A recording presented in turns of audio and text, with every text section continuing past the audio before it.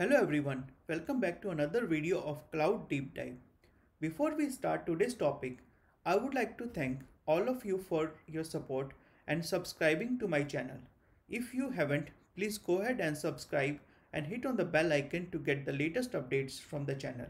So without wasting any time, let's start with today's topic. In today's video, we will discuss what is AWS Private Link, VPC endpoints, why these are required, how it works, and I'll show it in a demo. And most importantly, we will talk about how you can save money and secure your environment using these endpoints.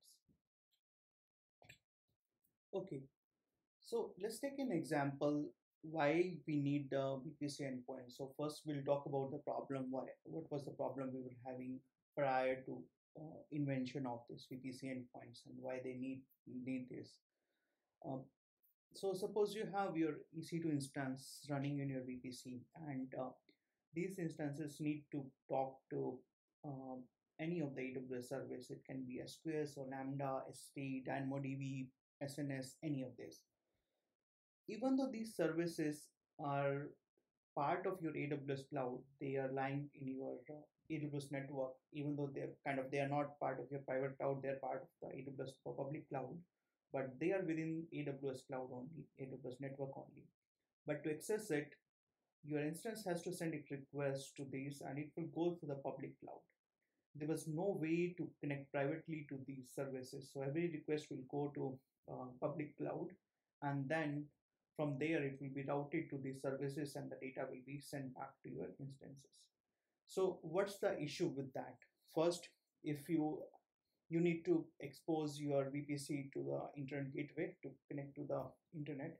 And uh, suppose you don't want your subnet to be connect to the internet or exposed to the internet because you might have a private subnet. To um, to overcome that, you might use the NAT gateway. And if you use the NAT gateway, then you are incurring more charges toward this because NAT gateway costs you money uh, and any data you're processing through the NAT gateway is again charged. Or you might have VPN connection you're connecting through your on-prem or via using Direct Connect. So those are the ways you you were connecting to these services. And the another issue was like one I discussed about the pricing if you're going through the NAT gateway. Another is the bandwidth constraint that whenever you're using the public internet, obviously there will be bandwidth constraint. Uh, another issue is like uh, your data is exposed to the internet now even though you are using https but still there is a chances of getting the security or vulnerability on that. Uh, so there were so many problems with that that your data or your connections are going to the public internet to access a service which reside within the aws only.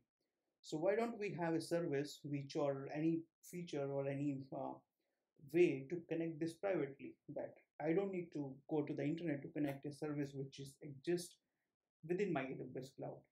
So for that, what AWS done that they introduce a private link, or you can say that uh, a connection you can make by using the endpoints, where they will provide you endpoint in your VPC, and that endpoint will make a connection with these AWS services, and that connection will use Amazon network.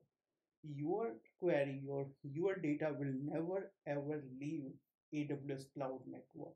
It will always be within aws cloud so your data is more secure compared to you are sending the traffic to the uh, internet and using the public internet to access these services that's kind of your your whole connection is more secure and there's no bandwidth constraint as well because whole connection is using or it's using the Amazon network, so there won't be any bandwidth constraint on that.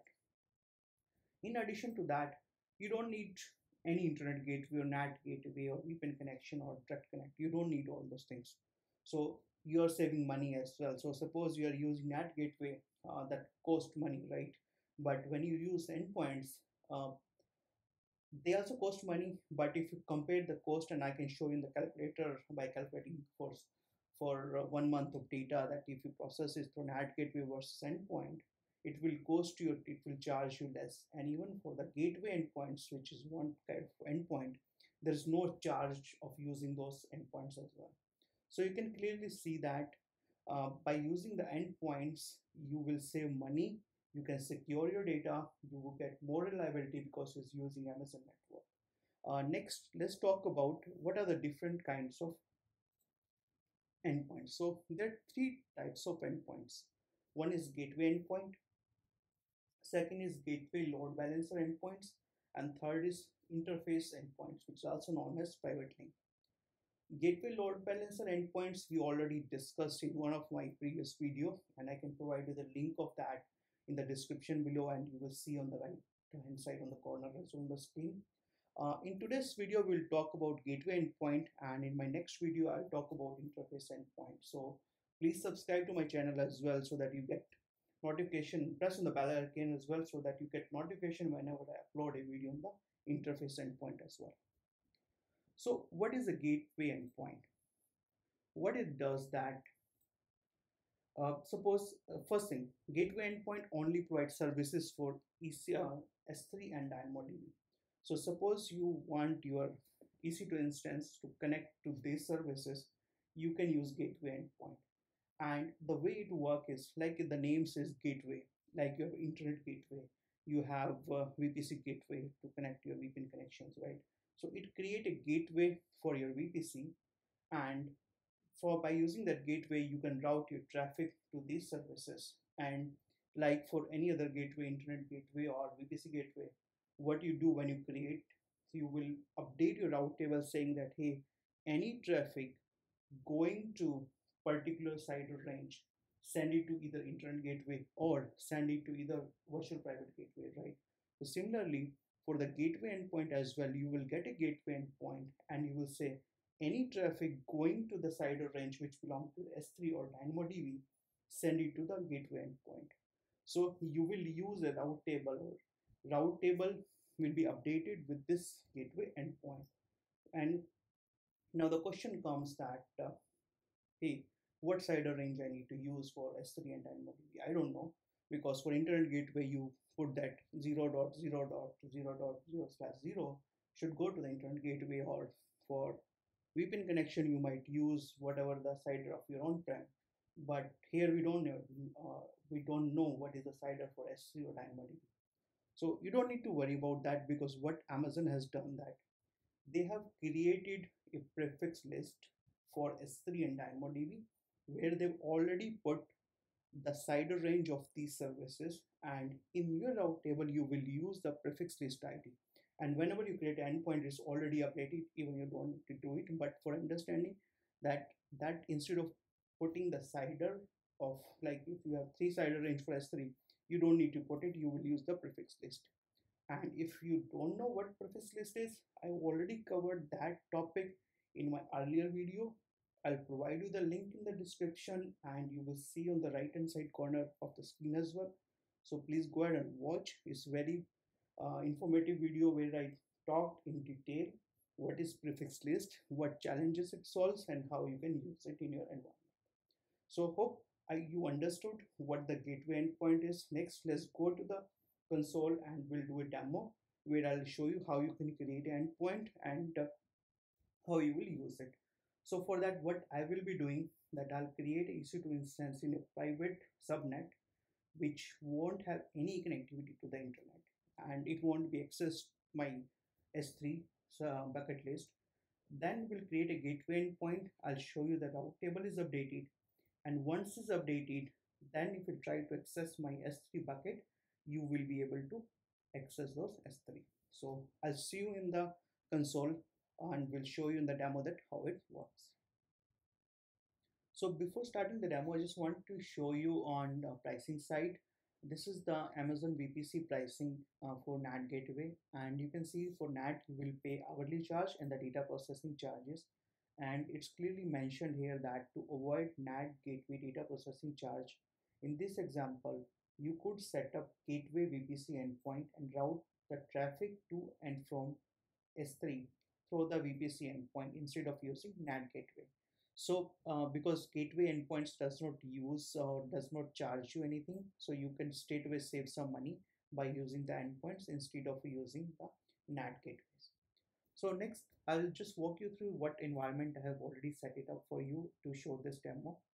Uh, I have only one VPC in my North Virginia region and uh, I created one private route table and this route table uh, has a only one route, the local route. It does not have any internet or NAT gateway route. And one subnet I have associated ending with 6C8.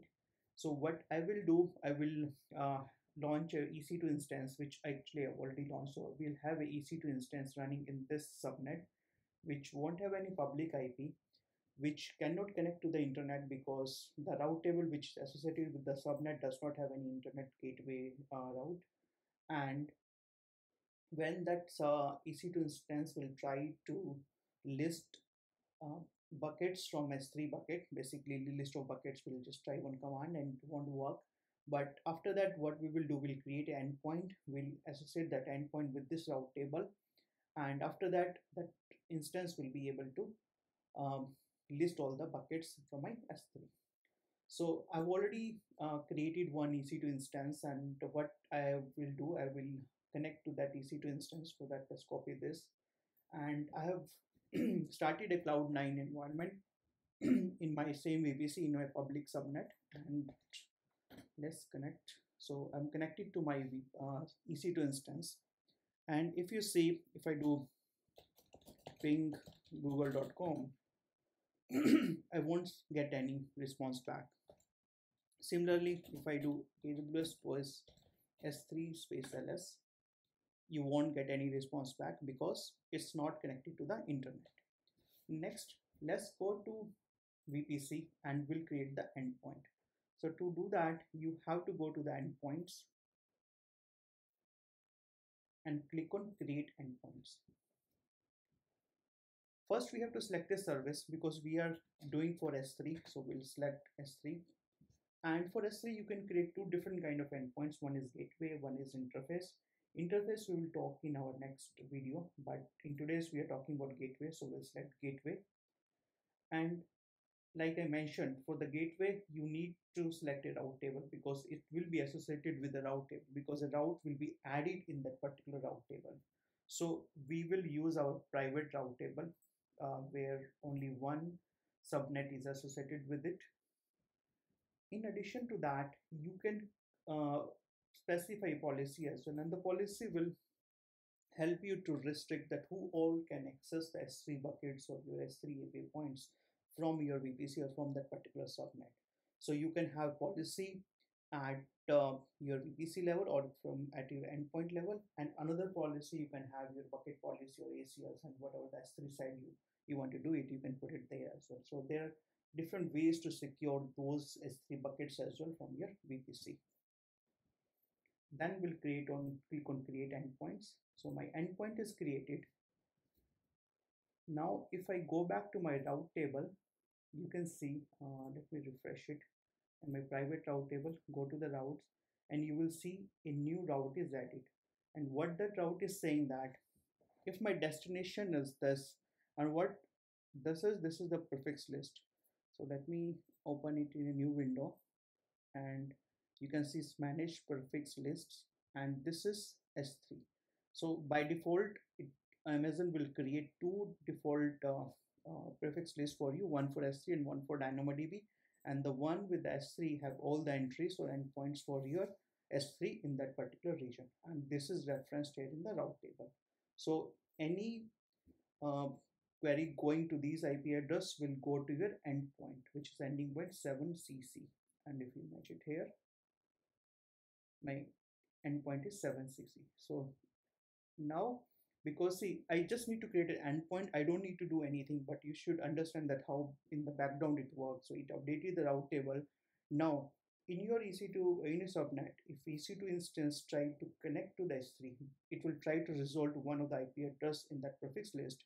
It will go to your route table and it will find a route. Okay, I need to go through this endpoint, and this endpoint is behind the scenes connected through Amazon network to those S3 buckets. So now if you do the same AWS space S3 space LS, you will be able to display all the uh, bucket names. So that's how endpoint uh, VP uh, gateway endpoint work, guys. Uh, let me know if you have any question and please uh, subscribe and like this video and share with your friends. Uh, I will be coming with the next video on the interface endpoint after this and will provide you the link and will share with you guys. So please subscribe, hit on the bell icon so that you get update whenever I launch that video as well. Thank you. Bye.